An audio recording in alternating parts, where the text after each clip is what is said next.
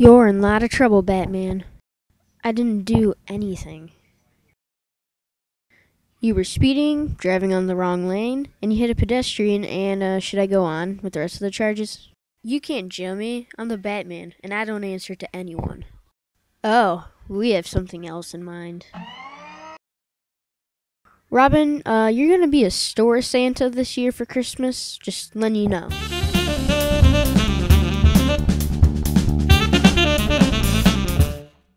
But Batman, this beard is so itchy, and why do I have to be Santa? Well, you see, Robin, I sort of got in trouble with the law around the tumbler around Gotham, so uh, they made me be the Santa at the store. But since I don't do public gigs, you're gonna do it for me, okay?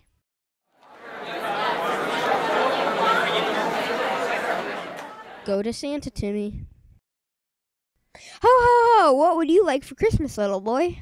Your voice sounds like a girl's voice. I know you deserve a little boy. You deserve a big spanking. Officer, that man just said he wanted to spank my son.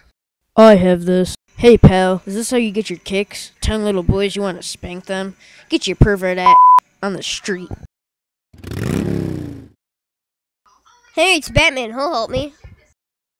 Batman, they kicked me out and I need to ride home. Sorry, kid, uh, I don't know you. And I don't do charity, kid. Oh, forget it. Ah! Ah! It was just a dream. Batman would never hurt me, would he?